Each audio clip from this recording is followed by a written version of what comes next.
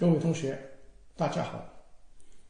今天其用其中的第三讲，第三讲的内容是延续上次第二课的第一啊，其用其中的定义与概念。我们在上次内容当中说过了一一其中啊的两个理念。那么第一个理念，让我们再回顾一下。第一个理念，我们讲的是天下没有不可治的病，所谓不治，是不懂其理，不得其法也。这就是告诉我们，换一种思维来考虑问题，天下的万事万物都有。相生相克，啊，所以天下的病都是可以治的，啊，只是说你认为不能治，你是不懂这个病的理和不知道治疗它的方法，所以就认为它是不可治的。第二个理念是，天下没有药和非药的区别，凡物均为药，均能治疗其对应的疾病。这就突破了先前大家的思维状态。在过去传统的思维当中，药，基本是以中药是以草本为主，因为这个药的繁体字就是上面是草，下面是个快乐的乐。也许古人说，只要吃了个这个草，就是痛苦减轻，使人快乐。从此就被作为药子来使用。其实，在中国的传统的呃医学当中，很多并非是草木的药啊，草木的药有很多的药，有很多的药。所以，医认为凡物均为药，均能治疗其对应的疾病。我这几年前去过西藏，跟他们的藏医教授啊交流沟通。呃他们用很多治疗疾病，类似于意义的治治疗方法。他告诉我，在治疗疾病当中，西藏的人很愿意用石头来进行治疗，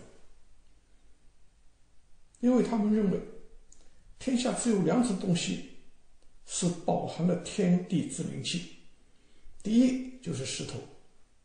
啊从地球诞生之日开始，就有石头的存在，延续至今千万年了。之所以说每颗石头，它都含有天地之灵气。第二就是水，地球上有了水，才有了生命，而这个水是经过循环的，在大自然的作用下。地气上升为云，就是地上的水汽上升到天空成为云；天气下降为雨。啊，云积多了以后，啊，这些雨水就从天上下来。那么只是说，水本质根本没有改变，只是说它在大自然当中，它起了个循环的作用。所以西藏人就认为水。和石头是治疗万物病的最有能量的东西啊！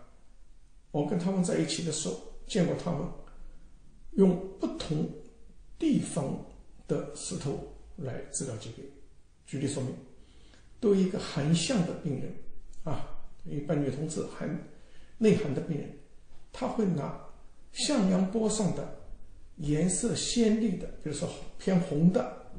偏黄的这一类的石头啊，放在他的肚子上啊，肚子上。那么对于热性的病人啊，他也往往会拿浸在水里的啊，水里的石头啊，颜色偏深的、偏暗的这类石头拿出来来治疗啊。所以凡物均为药，均能治疗其对应的疾病。那么，在一一治疗的还有四大原则。四大原则是实用、简便、快速、高效。为什么说实用？我们说，《易经》是中国文化源头之一。那么，在中国的历史上，不乏有很多的学者专门研究《易经》，所以中国就有一句话叫“自古演义三千家”，就是自古以来研究《易经》、自成一家体系、自成一家之说的有三千家之多啊。那么，在这些《易经》里面，啊，基本上以研究义理啊为主。那么，比如说前几年央视台啊，各个地地方台也都有请啊台湾的啊曾仕强教授啊来讲过易经的内容啊。那么，所有这些讲易经的人。只是对《易经》，因为《易经》博大精深，涵盖面很广，啊，大家只是各取自己所长的一部分进行讲解。但我发现，共同有一个问题，就是不实用。你听确实很有味道，讲很有道理，啊，但是怎么用？学了以后对你有用没有？啊，当然有用是肯定的啊，让你改变思维啊，改变对世界万物的看法。但是能操作吗？很难，很难。所以我的意义其实主要第一个图用的就是实用。通过大家对几天的学习。学习我们的易医学，把易经的道理搞明白了以后，把它的理论啊和的思维方式放入到医学临床上，形成一个行之有效、可以操作、可以重复的一种治疗手段。因为像现在啊，社会发展那么快。啊，每个人都感到时间紧缺，啊，时间紧缺，我们要最简单的方法，啊，让易经成为我们手中的一个武器，突出就是使用，啊，如果不使用，我今天就没有必要坐在这里跟大家讲这个事情。第二，简便，古人看事不像现在人看事。啊我说过，中医是什么？中医是天人医学。所谓的天人医学是中医和西医不同，西医是经验医学，啊，它是用大数据反复重复总结归纳出来的一种医学体系，而中医呢，不是这么回事。中医是天人医学，就是指的是中医是先有理论，再有实践。认为中国古人与上天沟通，就是以静能生慧、慧能通神的途径来获取上天的信息。很多现代人认为这是迷信，不然，举例说明，我是西医外科医生，啊，也是。知青一代，啊，原本读中学就没有读几年，就下乡了。下乡以后，种田，种了四年田，被抽上去上了大学。在大学里面，一直学习非常紧张，到工作单位上是外科也是很紧张。那很多人就认为，啊，你这个，呃。仪器人怎么发明？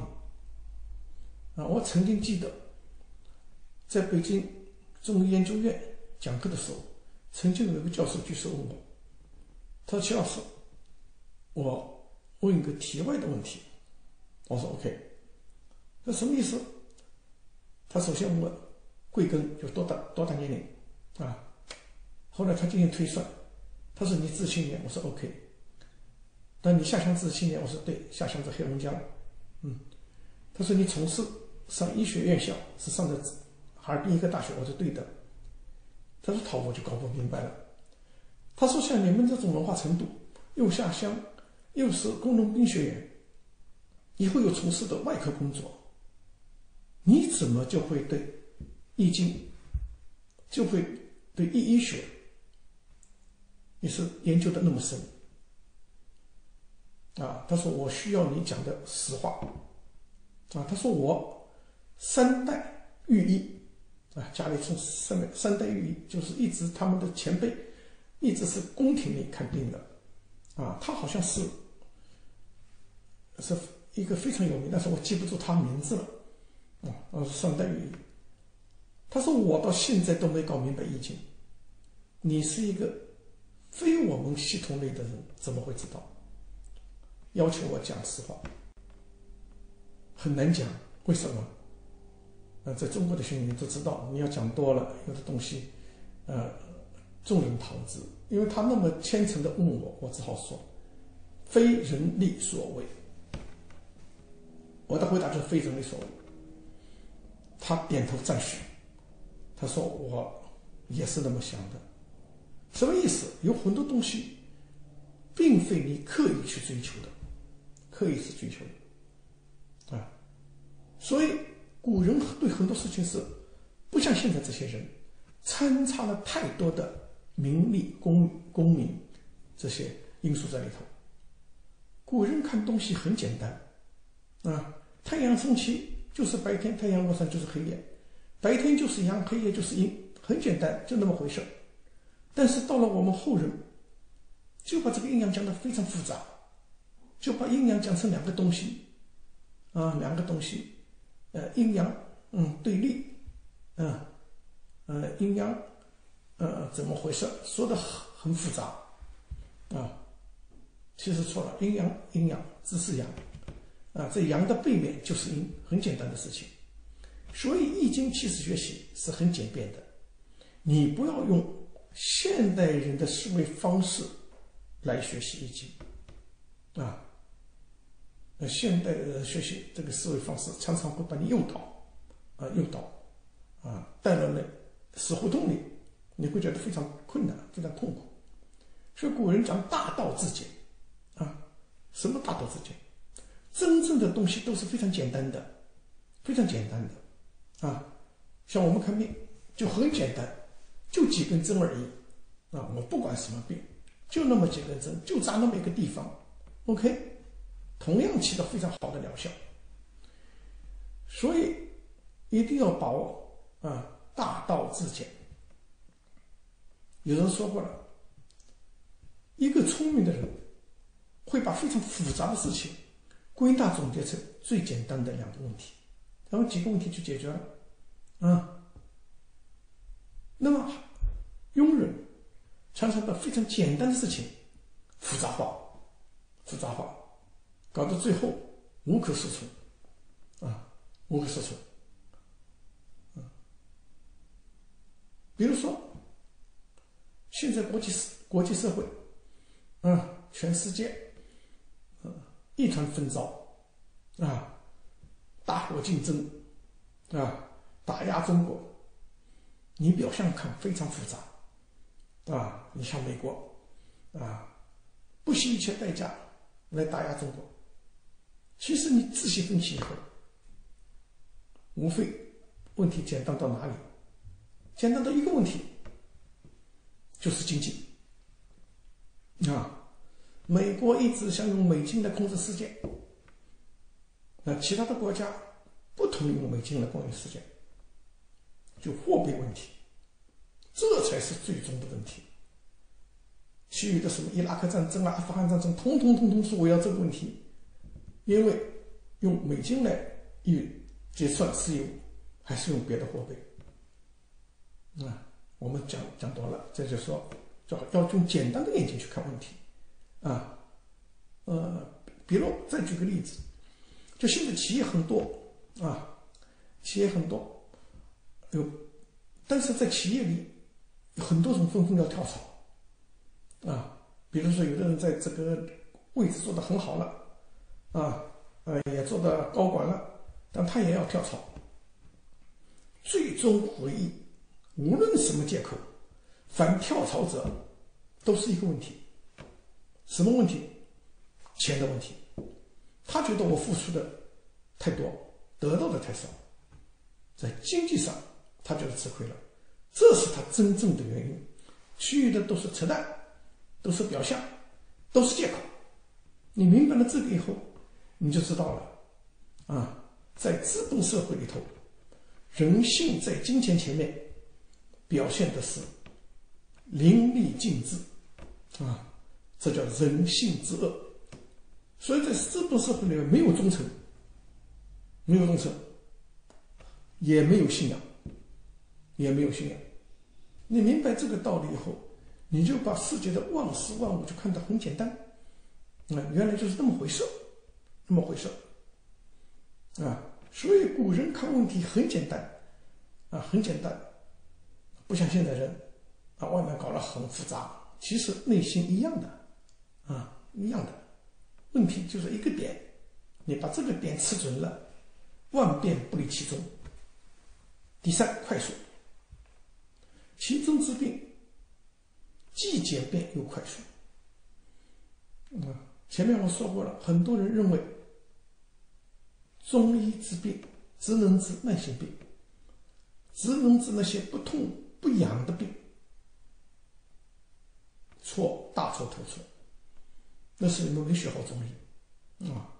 中医治病同样快速，同样快速啊！而且它跟西医治病还不一样，还不一样啊！它对上号了以后，立马就好了，嗯。可以说瞬间之内就把病拿下了，所以启动治疗也很快，很快。但是这里有一个问题，就是说你在治疗这个快速的时候，不是一蹴而就的，不是今天上了我的课，三天以后啊回去你就很 OK，什么都会治啊，不是这么回事，你得不断的。研究，啊，不断的提高，不断的与同仁沟通，啊，这样子要用功用心去做这个事情。第四是高效，高效。其针治病仅八个方位而已，但是它的效果非常好。这个高效体现在哪里？就是说我在扎一个方位的时候，不要一对一。呃，我看到同学扎针，他的思维被病人绑架。举例说啊，一个病人来了，说大夫，我腰疼，腰疼很简单，啊，其实学员都会扎，OK，躺下吧，啊，啪一针，腰疼好了，啊。等你还没拔针，病人说了：“大夫，这两天我也头疼，血压高。”你想，这很简单，啪啪啪，又上了两针三针，头疼没有了，血压也不了。好，这时候病人说：“我这两天到了晚上睡觉，呼吸喘不上来，气喘不上来。”是什么意思？就是说你在治病以前。必须让病人把他所有的不舒服的病都能讲明白。当然，最关键的是主诉，嗯，主诉是他今天来解决的主要问题，但是他还有连带别的病。你把这些病全部听清楚以后，你将它归纳以后，认为最关键的是在哪个方位上？比如说腰痛有，头痛有，血压高，睡眠不好。那你一看这问题，哎，好玩，为什么？它三个点的后面都聚着一位，一个点聚集在正位，那就这很 OK 了。那你扎的时候，我只要用两到三针，就把你所有的病都解决了。而不是病人说一扎一，说二扎二，说三扎三，啊，那你是被病人绑架，思维被病人绑架，那你的扎针效果肯定不好，因为你每扎一针只对应一个病，那可能在一个点上还要重复几次，所以这里就有个技巧问题，啊，你要让病人慢慢的说，把他所有的问题讲清楚，讲清楚，这个情况。啊，国内还好点，为什么国内好点？因为国内的病人太多，轮到一个病人看病，他们有更多的时间向你医生诉说。嗯，后面的病人就急了，啊，你你不可能说的很长，所以往往他挑最重的说两个，你治好了就走了。但是在海外，no，完全不是这么回事。海外一个病人进来，按照他们的医疗要求。至少要沟通十五分钟，就是十五分钟，你这是跟病人沟通，啊，病人讲，那特别在海外，呃，人少嘛，很多家庭就是夫妇俩或者有个孩子，而且一上班，所以很寂寞，在寂寞的情况下，病人就有个诉求，特别喜欢跟你讲，把他的所有心里的烦恼。苦闷、病痛，啊，都跟你讲清楚，都讲出来，啊，就就我们说的话，他有点抑郁，有点强迫，很好理解，很好理解，就让他们讲，啊，一定要让他们讲，把他讲完了，他的病好的，你呢，继续治疗，嗯，那有的同学就说了，老师，这个东西很困难。为什么他讲了很多很多，足足三十分钟没停没停下来，全身所有的病都讲遍了。我说你不着急，啊，但是你必须保持微笑，就像我现在要保持微笑。听真正听吗？不要听，你听就听糊涂了，你又被病人绑架了。你看着他，他讲一个，你点个头；他讲一个，你点个头。特别我在海外，人家老外跟我讲英语，我根本听不懂。我我听懂几个单词，对吧？但他有一点，你比较非常诚恳的，他讲一个点个头，讲一个点个头，嗯，等他讲完了，什么都别管，四正位以上，四正位，那我们已经讲了吗？四正位治全身，四正位治消化，对吧？他全身的病，你不用去变他，所有病讲完，你只有上四正位，肯定有效。你不要千万，他讲一，你跟一；他讲二，你跟二，啊，这样。所以懂得这个道理以后，那你就高效，那，扎上去，病人就很感觉到很好，很好。所以四大原则，五大指标。所以五大指标怎么来的？就是从其中问世到现在，已经将近二十年，在二十年的时间里。有太多太多的学生咨询我，啊，他说：“齐老师，现在又有一个什么啊学习班出来了，啊，又有个这个学习班出来了，你看我去学还是不去学？”这话很难说，我很难回答，因为我太知道中医里面的弊病，啊，真正能够自创一派、自成体系的大家。少之又少，那大多数都是东拼西凑。我说是医学平台啊，只是为了个人牟利啊，获取利益的一种手段而编造了一套东西。这样的东西值得学吗？不值得学。但是我不会说不值得学啊？为什么呢？呃，断人财路，怒杀父母啊！你把人家财路断了，好像宰了别人的父母，对吧？没有必要，对吧？没有必要，因为清理整顿中医不是我个人的事情，这是在国家层面上的事情。这叫什么？不在其位，不谋其政。你得知道自己，你得把自己定位定好。所有这些，啊，面临这个问题的时候，来找我的时候，我会告诉你，你自己看。你该学不该学？那这是我看不懂。那么好，我说我给你五大指标，这五大指标是衡量一个医院、衡量一个大夫、衡量一个新的疗法的水平高低的金指标。你把它一对，你就明白了我是该选还是不该选啊？那就少走弯路，少花费金钱，少被欺骗。因为有一个同学曾经跟我说，他说美国来了一个叫什么针法啊？他说我们十几个同学，都挺好的，每人都去，一个人大概交两万多人民币吧，啊，呃，学了大概七八天，那么回来以后他说一无所有，没有用，根本都是东拼西凑东西，因为他打了美国人的牌子，啊，从美国跑到这里来，就适合了中国人的一种。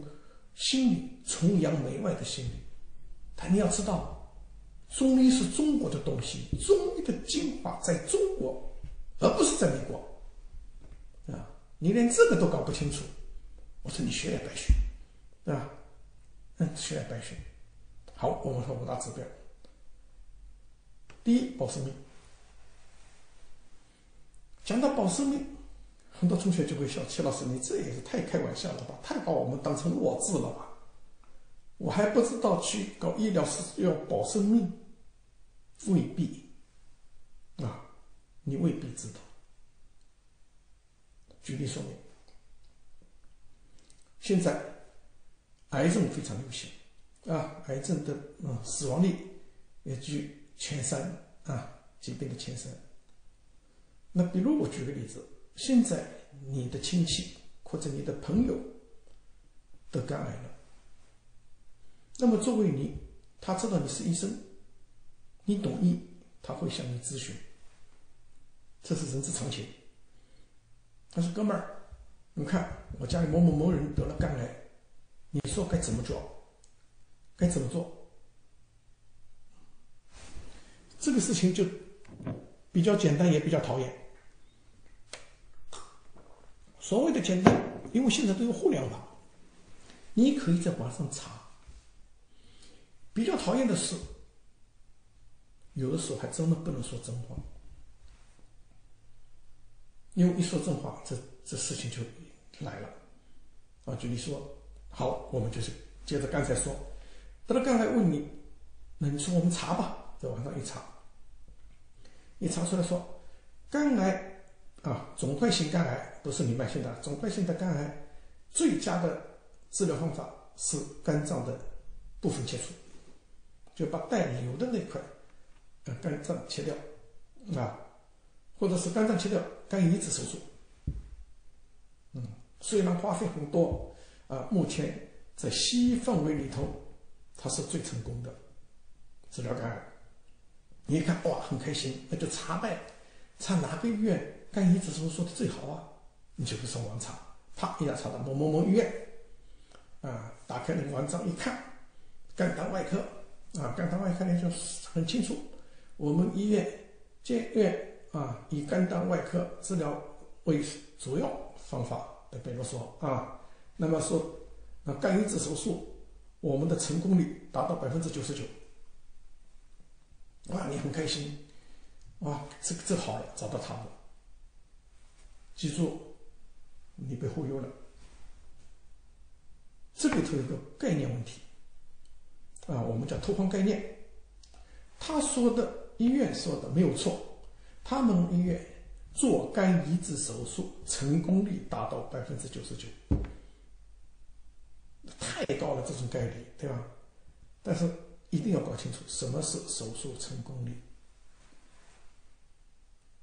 啊。手术成功率什么意思？就是说，在病人进入手术室、做完手术以后，麻醉药醒了，安全回到病房，这个时候就说是手术成功了。至于成功手术下来是两天、三天以后，病情恶变、突发死亡，跟他都没有关系。所谓的手术成功率。说明的是，大夫这个医院的大夫做这种手术炉火纯青，嗯，手机非常漂亮，这个只能表达这个，所以它并不是治愈力。明白这一点以后，你就可以打电话的时候问到手术成功率，我看到了百分之九十九，相信，因为他不会杀好，他没有必要杀好，因为在中国那么多的病人啊，想上医院去做肝移植手术，未必能排得最好，他没有必要来杀好。但是你要多一个心眼，打个电话就说，请问肝脏移植以后，你们医院的肝脏移植以后，病人的成活率，就是说病人五年的生存率是多少？因为在外科系统里有这么一个条件，就是说，凡是肿瘤病人切完以后，啊，他还能生存五年，那就是说是 OK 了。你明白了，他就是，如果对方很诚实告诉你，我们做了这个手术以后，存活率达到一年以上、两年左右，然后 OK，那你就要回来想，这个病人值得不值得去做这个手术？如果不做手术，这个病人能存活多少时间？一般的情况下是半年。如果再用点中药，啊，如果加上他的。啊，给他，我们说，呃，洗脑啊，或者说给他一点知识充实，他可能能活到一年。那我就说，你要这个时候评估啊，我做一个肝脏移植手术，手术大概需要多少？啊，我不知道。我退休以前是二十万的一个肝脏移植加上手术费，通加起来要三四万，三十万到四十万左右。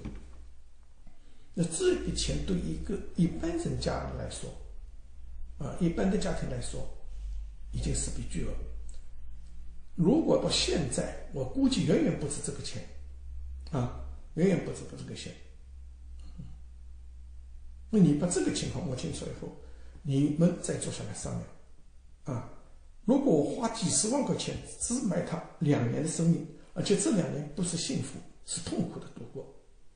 那手术做完以后，一切东西很痛苦啊！啊，他不是一个正常的人呐，是病人。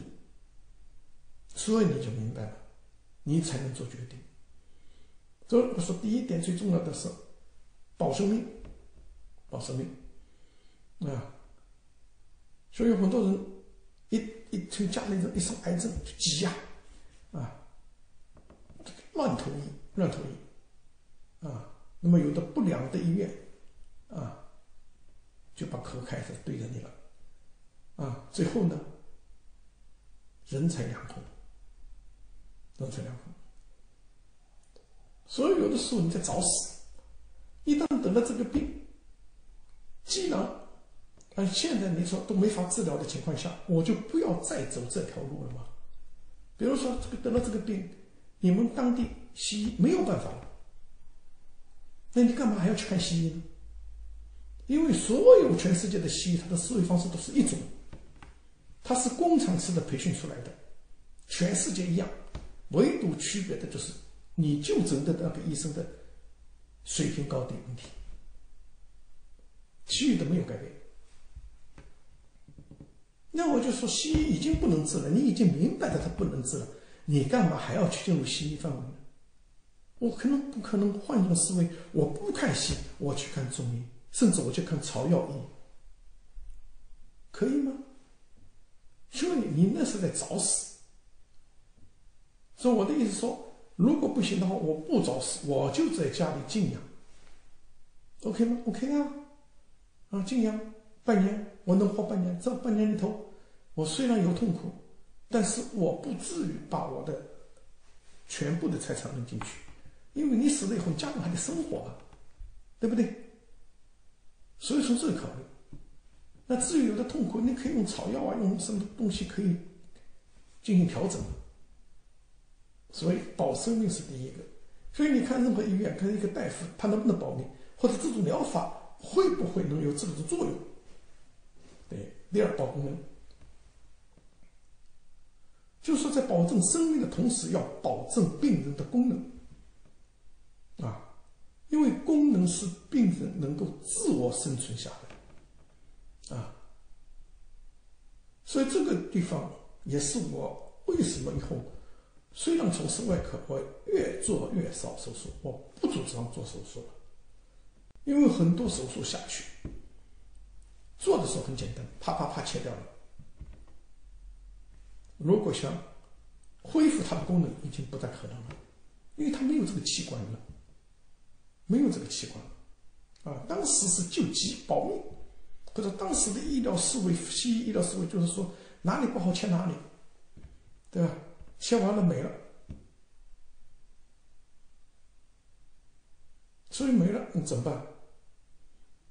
啊，那病人再找你的手，他认的是你主刀医生啊，我有问题得问你啊，手术是你做的呀，对吧？现在我不舒服了，我得找你呀，所以你有什么办法？你还能把切的东西再装上去？至少现在医学没达到这种程度，所以很痛苦啊！能不能保功能？所以尽可能的让保证啊，病人生命情况下保证他的功能正常。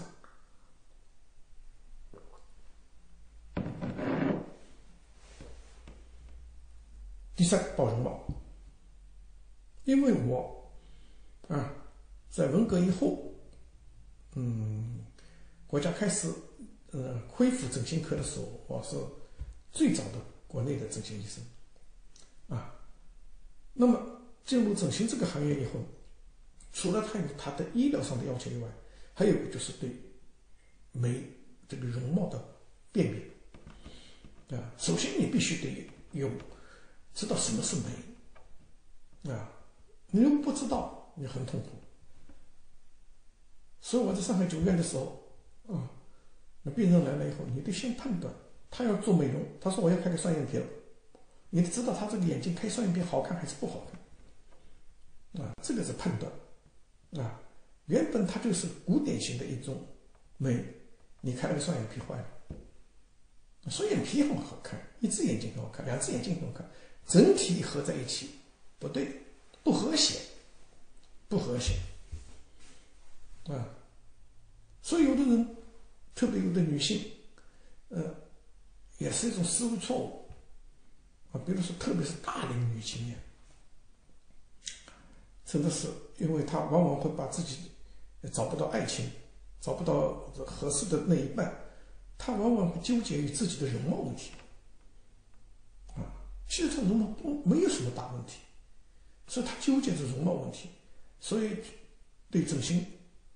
就要求很高，而且一次一次再一次的去做，啊，再一次的去做，啊，最后真的面目全非。他自己，我想想都，如果认识他的人，过一年都是不不认识他，他是什么？因为他完全变了。还有一些啊女患者来的时候带了某某女明星的照片，往上一放，大夫能不能啊这个按照这个形状给我做？啊，所以这就说有个问题，但是这说明了一个什么问题？说明了女同志爱美是天性，甚至有的时候她会把美貌看得比生命还重要。这就要求我们外科医生做手术的时候，尽可能的细化，把手术的刀疤隐藏起来，隐藏起来，啊。所以这个容貌要保证，啊，因为我出整形，整形里头最痛苦的就是烧伤病人的整形，烧伤病人脸烧乱七八糟都是疤，你再怎么整，皮源是个问题，啊，你把它连起来，移上去的皮肤，啊，总是和原先的不一样，啊，所以知道这个事情以后，所以做任何事情。你都不要毁容，特别的女同志。所以从整形科出来以后，血管回来以后，我做一切手术，刀疤的设计是我必须考虑的，必须考虑的啊，容貌问题，容貌问题。第四，治疗速度，同样啊，我刚才说这个容貌问题，还有一个就是说，呃，学了易经以后，搞了易医学以后，切记一个事情，在给任何人治疗治疗的时候，千万不要造成治疗性的毁容。啊，什么叫毁容？有人都认为就脸上毁容，不对，不能留下痕迹。啊，呃，中国有个传统的疗法叫。八灸，就火就灸完以后落个疤，千万不能要，啊，千万不能要，啊，古人说身体发肤受之父母，不可损之，孝之道也。为什么说身体发肤受之父母？你要行孝，不能损坏自己的皮肤呢？因为意义讲的很清楚，凡是身上留有不该有的东西，都是告诉你，它对应的脏腑发生病变。所以你的疤就你看在皮肤上留了一个疤，这个疤就直接告诉你，它的问题出在哪里？问题出在哪里？啊，这个以后我们再讲。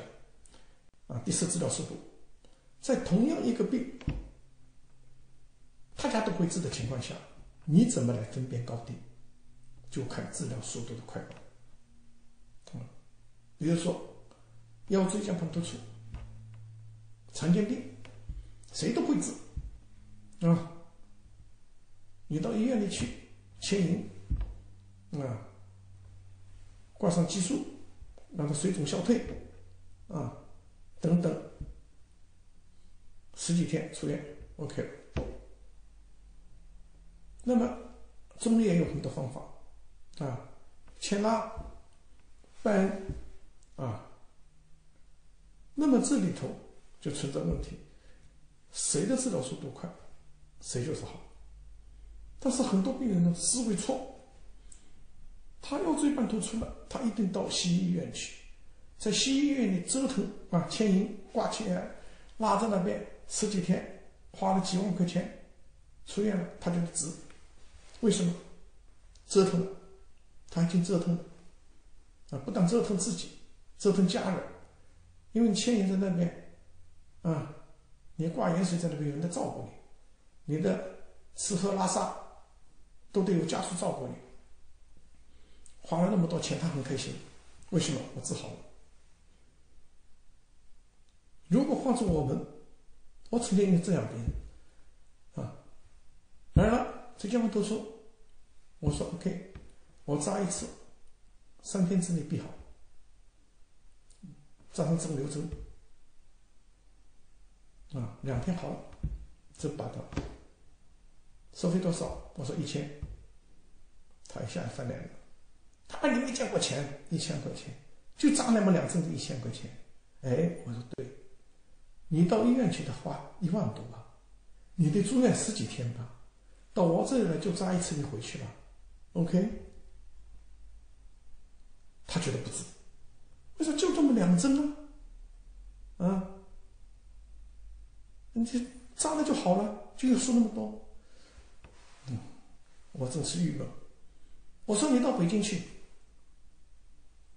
那越快越越不值钱。你坐飞机那么贵，你就走吧，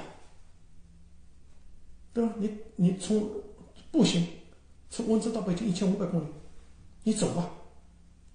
你坐飞机得几千块钱，所以你在治疗当中。花那么多的时间是痛苦的躺着，啊，一针一千块，说老实话，我都给你打折了，你不病好了吗？所以病人求的是病愈，啊，至于什么方法，那是医生的事情，啊，这里就成这个问题，所以思路不对，思路不对。这种经济节约啊，在所有病大家都能看的情况下，谁的方法简单省钱，谁的方法就好啊。不言而喻，其中最省钱，只有两根针，只有两根针，嗯，很省钱。但是也有的病人他脑子有问题啊。我在美国有个老外啊，一个女同志，老外。扎针啊，在我的学生的诊所扎针。那个学生以前是搞体针的，但学了体针以后，他要开始学气针，就开始扎气针。那天我到请我到他诊所去带教，那旁边这个老外是扎体针的，就我刚才说的，他针扎好了，针拔了，针拔了要付钱。啊，付多少钱我已经记不清楚了，大概和哎，他这个收费标准是一样的。他昨天比如说六十，今天还是六十。那个老外这付了钱以后在那嘟囔，啊，后来他们翻给我听，我也很好很好玩，因为前一天付六十块钱，他是扎了二十八针。哇，我都不明白这个扎针会扎二十八针啊！你先不管医生了，就二十八针，今天。扎了二十七针，老外觉得我亏了。二十八针、二十七针差一针，为什么会一样多的钱？你说是医生脑子进水还是病人脑子进水？你多一针是幸福吗？扎的舒服吗？扎的疼啊！所以他觉得这个思维方式发生了问题。啊啊，他一定要挣越多。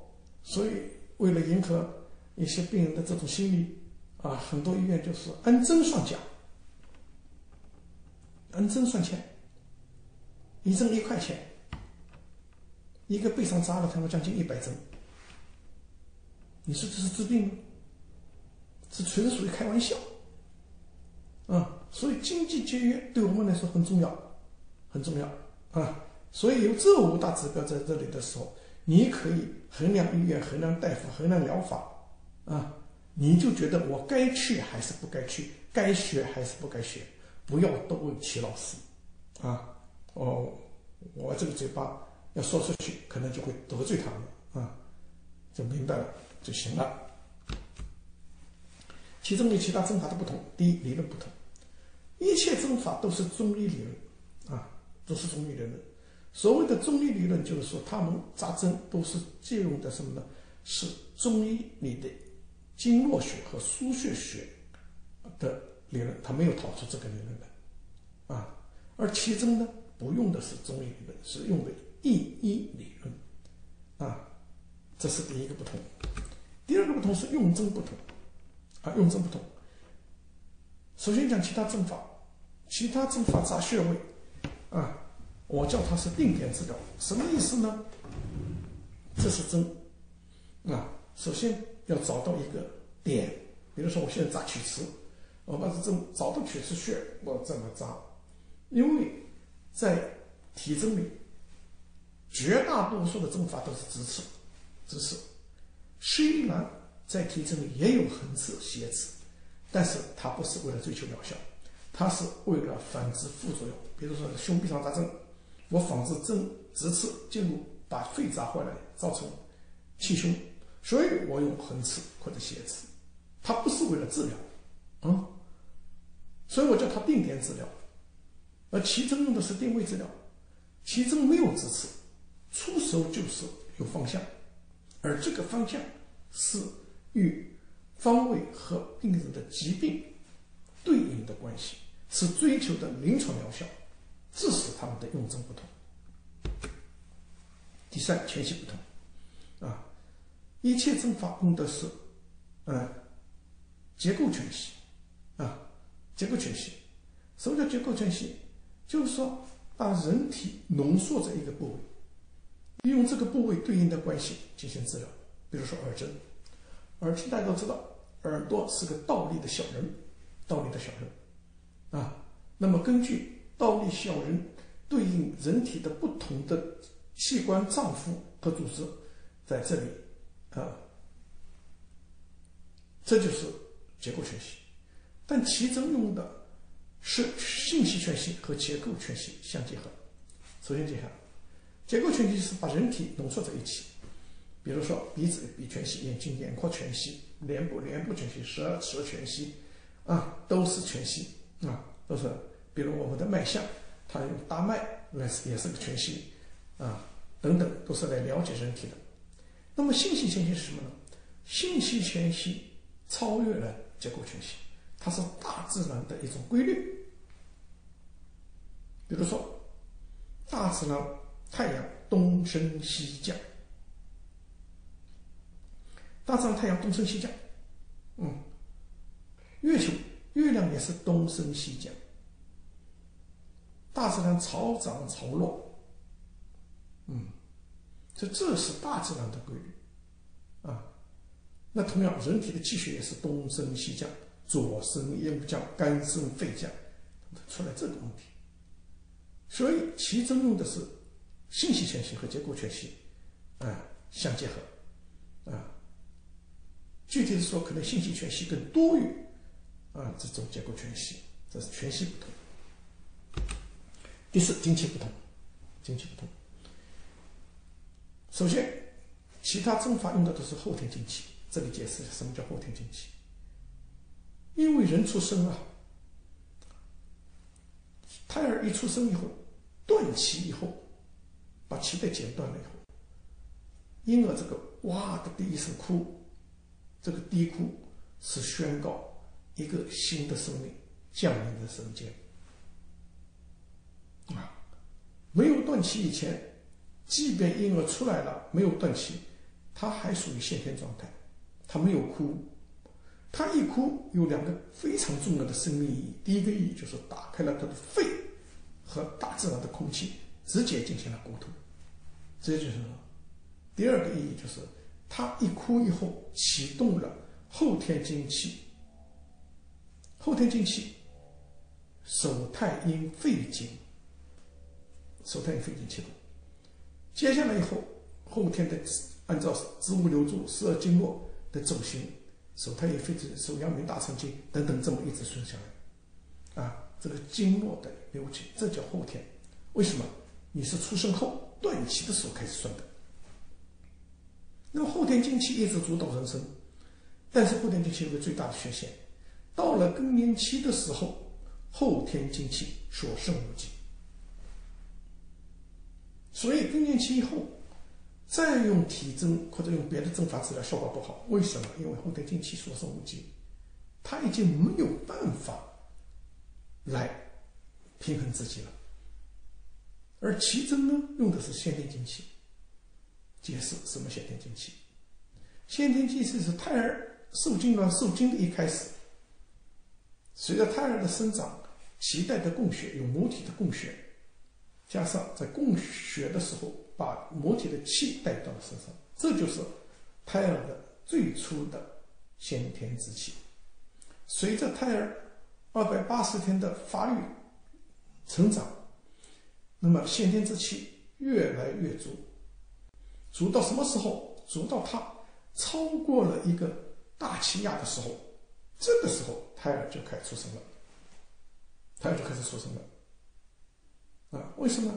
因为人体都受着一个大气压的压力，它超过一个大气压的时候，它自己就开始从肠道出来。啊，就像我们现在到西藏，火车过了格过了格尔木的时候，车厢里开始就要灌氧气。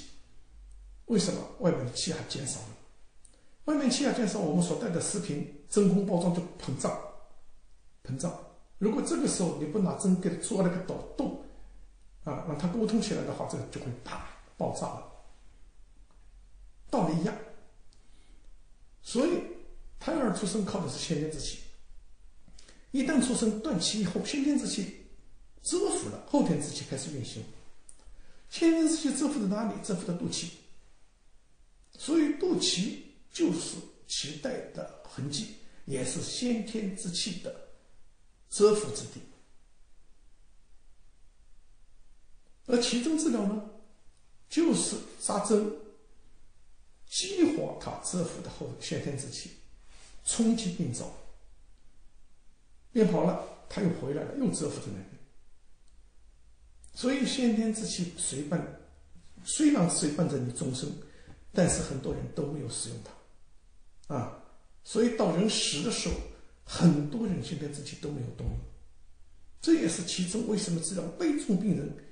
常常是立马见效，让别人瞠目结舌的结果。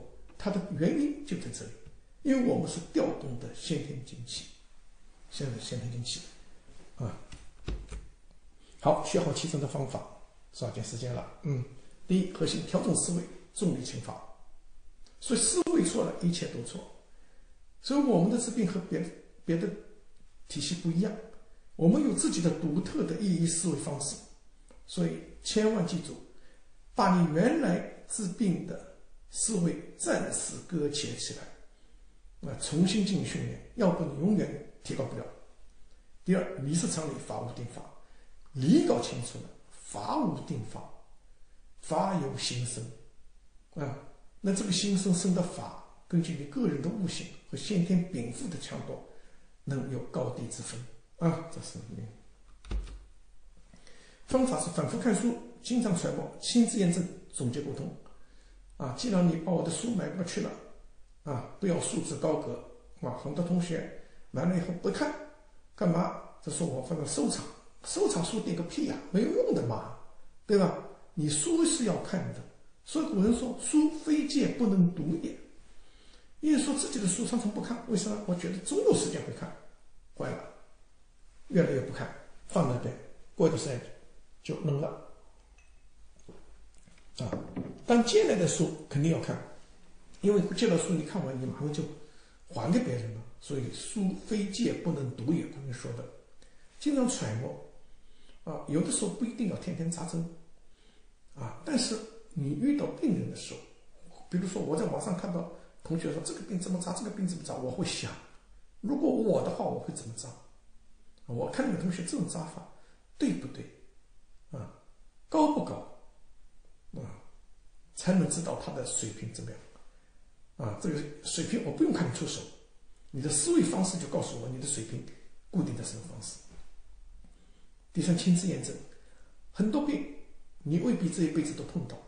你碰到这这个病的时候，你从来没治过。你看同学们有人治过，他的效果怎么样子？如果效果好，你就按照他拷贝过来，上去试试看，亲自验证啊。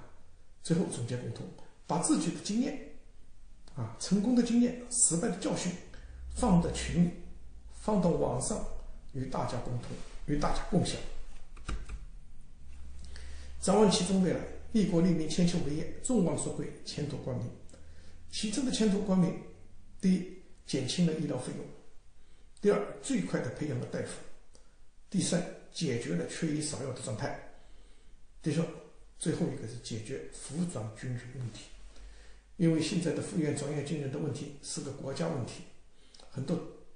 当兵的回来以后，地地没了，技术技术他没有学会，年富力强，没有谋生的手段，啊，如果 都把气功学会了，就在他们当地有一家有一个房间有一张床，就可以为当地的百姓解除困难，啊，解除困难，啊，又能解决缺医少药，又能自谋其生死，啊，自谋其生，但是这个必须由国家批准，给他们考证。得必须得有医疗职业证书啊，职业证书。如果这个有了，那是国家之大幸啊，之大幸也。好，归纳小结：第一，气针是增加肚脐，平衡营养，去除疾病。所以什么是气？就扎肚脐叫气针。第二，其中开启单穴治病的先河。所以目前唯独其中是单穴治百病啊。第三，其中是医学的入门之法。把其中学好了。等于就跨进了医医学，啊，医学是个庞大的体系，啊，我希望我们有缘以后你们都能进行学习啊。第四，其中有两个理念、四大原则、五大指标。第五，其中和其他针法在理论上、用针上、全息上、精气上都存在着不同，所以其中不仅是一种针法，它更是一种独立的医学，是一种独立的文化体系。谢谢大家。